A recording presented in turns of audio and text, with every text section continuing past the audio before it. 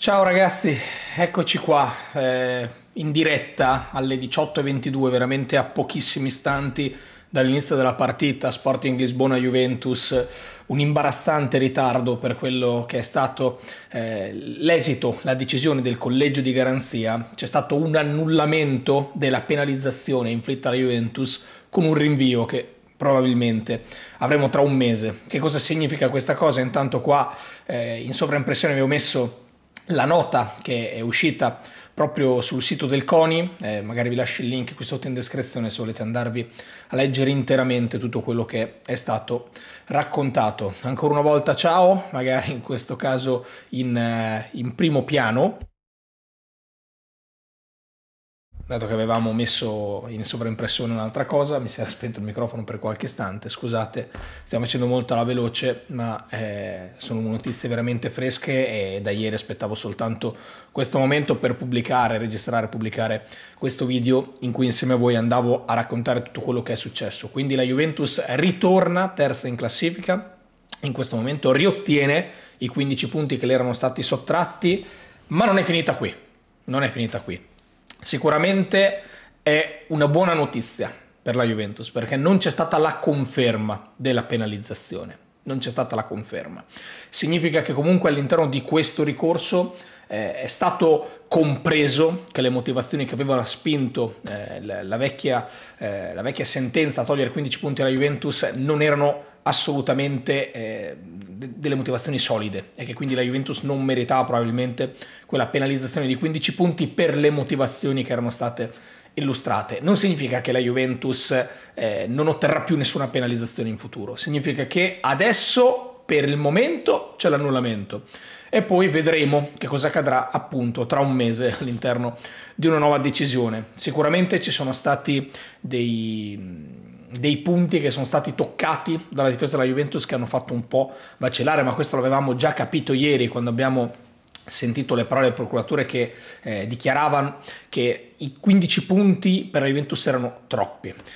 Che cosa significa? Probabilmente è stata una sorta di, di compromesso, di compromesso, perché Secondo me all'interno del collegio di garanzia del CONI c'è stata tanta confusione. Il fatto che sia uscita 24 ore dopo eh, questo esito della sentenza significa che internamente proprio al collegio di garanzia ci sono state delle discrepanze. Alcuni magari erano d'accordo, altri non erano d'accordo, alcuni avrebbero accettato semplicemente il ricorso alla Juventus dell'annullamento senza rinvio, altri probabilmente hanno preso in considerazione diversi elementi e si sono semplicemente tirati indietro per non dare una risposta. Alcuni probabilmente hanno scelto di non scegliere, non hanno voluto metterci le mani dentro. Questa è una cosa molto italiana, mi viene da dire con, eh, con estrema franchezza, ma voglio cercare di fare un riassunto, un resoconto di tutta la situazione perché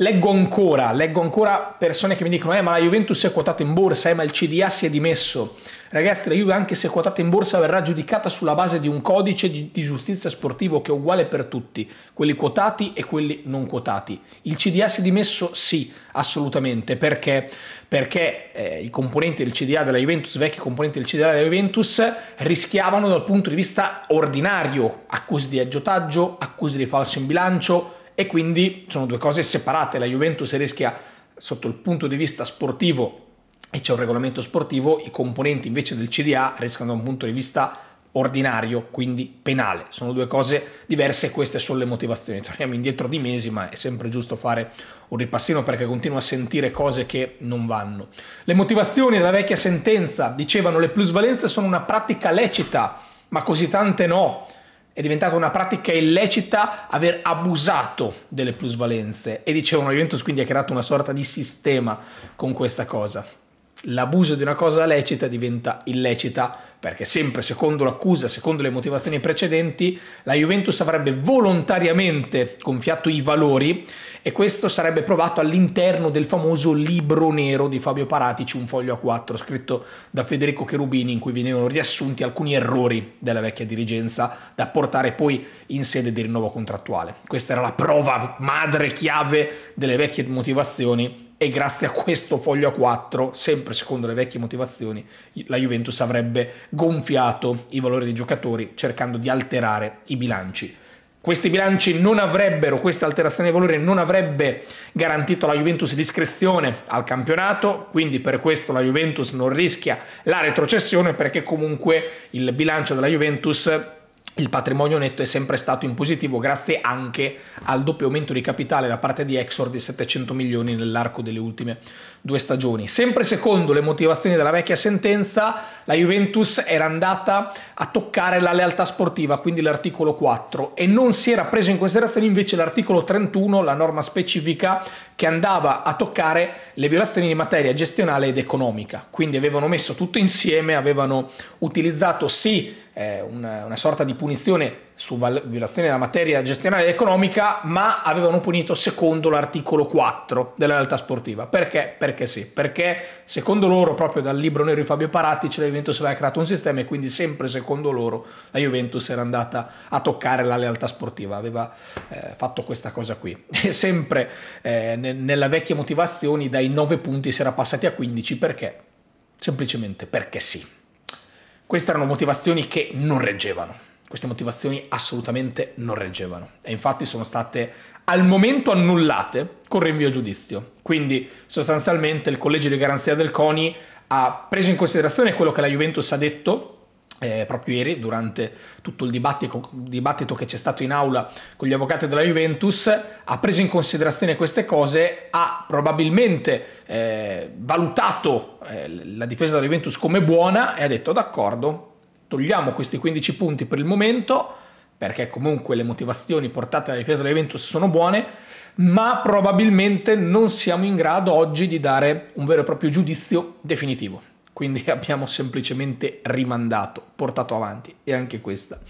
mi sembra una cosa totalmente italiana. La difesa della Juve si poggiava sul fatto che la Juve era già stata considerata innocente all'interno del primo processo dell'anno scorso e che le motivazioni della sentenza che vi ho letto prima non cambiavano di una virgola, tutto quello che era già stato approvato qualche eh, mese fa, qualche mese prima, quindi l'anno scorso, nel, nel 2022, quindi l'innocenza da parte della Juventus che era già stata prosciolta insieme a Napoli, Genoa, Sampdoria e tante altre squadre. E come al solito, come vi dicevo anche ieri, che se c'è un articolo specifico che è l'articolo 31, non ha senso andare su un generico che è l'articolo 4. Ieri il procuratore generale dello sport aveva espresso infatti dubbi sull'utilizzo dell'articolo 4 e di come si era arrivati effettivamente a decidere quei 15 punti di penalizzazione così. C'erano dubbi su come erano stati attribuiti. C'erano ieri, ci sono da, da mesi, o comunque appunto dubbi di come si è arrivati a quel meno 15. Sicuramente le motivazioni della sentenza che abbiamo detto prima oggi sono carta straccia. Oggi sono carta straccia perché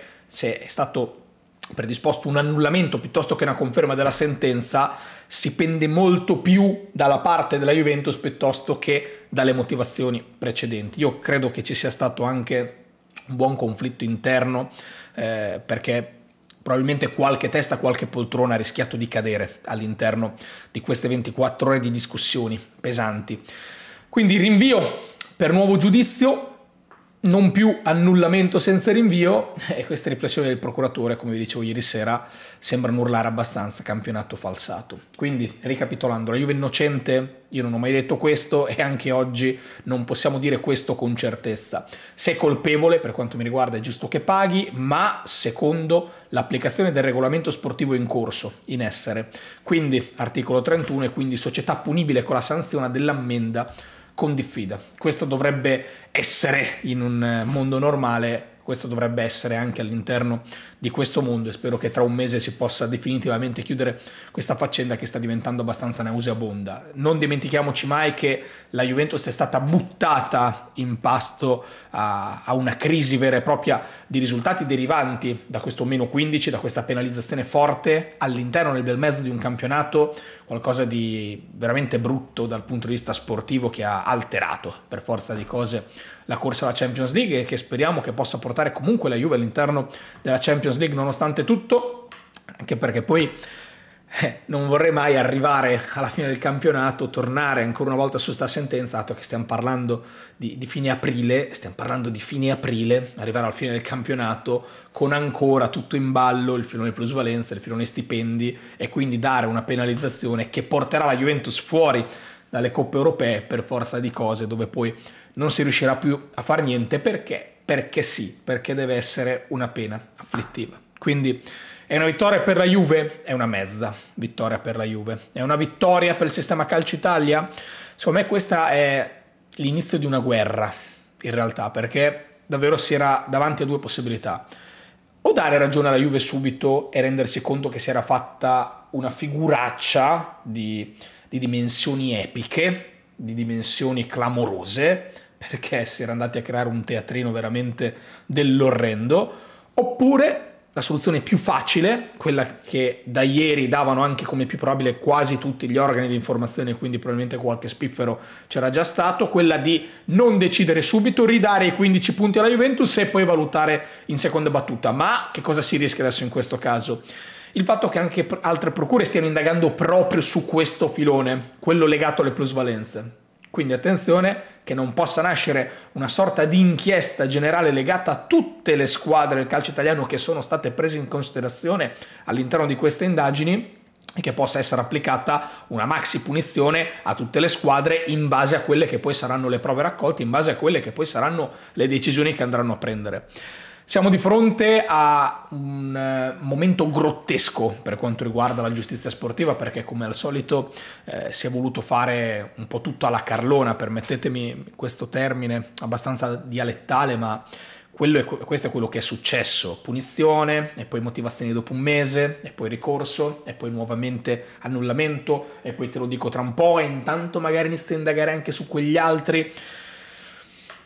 siamo di fronte a, a, un, a, una follia, a una follia che viene completata all'interno di un percorso che ci porta a pensare che la Juventus alle 21 scenderà in campo. Tra mezz'ora sono le 7, quindi tra due ore e mezza la Juventus scende in campo con, le, con un ricorso eh, il cui esito è arrivato soltanto appunto due ore e mezza prima dell'inizio della partita. Anche questo potrebbe andare a influenzare il risultato di stasera perché sicuramente l'allenatore, i giocatori, i componenti della Juventus nella giornata di oggi sì, pensavano alla gara di questa sera, ma come dicevo anche nel video di stamattina, se noi tifosi siamo stati tutt'oggi a pensare a questa cosa, tutto ieri a pensare a questa cosa, figuratevi i diretti interessati. Io spero che possa essere un, una sorta di... Eh, di iniezione di fiducia, diciamo così, che loro possano essere tranquilli di, di, sapere che i loro 15 punti che hanno conquistato sul campo sono tornati a casa e che Juventus ancora una volta lotterà per riottenerli fino all'ultimo momento in ogni sede opportuna perché penso che Juventus non sia pienamente soddisfatta perché ovviamente la richiesta era quella di annullamento senza rinvio ma credo che, che ieri Juve abbia dato una bella sterzata forte al sistema calcio in Italia e adesso ne vedremo delle belle, perché come vi dicevo prima, o fanno una figuraccia tremenda tutti e iniziano a saltare dalle teste, si parlava appunto di Chinè che sarebbe eh, stato costretto poi a dimettersi, di Gravina che sarebbe stato trascinato all'interno del ciclone, oppure apriamo un nuovo filone di indagini che va a coinvolgere tutte le squadre, dato che le altre procure hanno iniziato ad indagare e poi applichiamo delle sanzioni severe un po' a tutte le squadre in Italia, non dico tutte, ma un po' a tutte quelle che sono state toccate dalla faccenda e quindi rischiamo davvero di creare una sorta di nuova Calciopoli 2 in cui andiamo a mettere il calcio italiano al centro del ciclone. Ne ha bisogno? Secondo me assolutamente no, però hanno probabilmente tirato un po' troppo la corda con delle motivazioni ridicole e con una punizione ridicola e sproporzionata rispetto a quella che doveva essere la pena e con un'inflizione di una pena che non doveva appartenere a quello che era il capo di imputazione. Ed eccoci qua, ancora una volta, un teatrino all'italiana, ancora una volta, non sono minimamente sorpreso. Ci vediamo dopo per il post partita.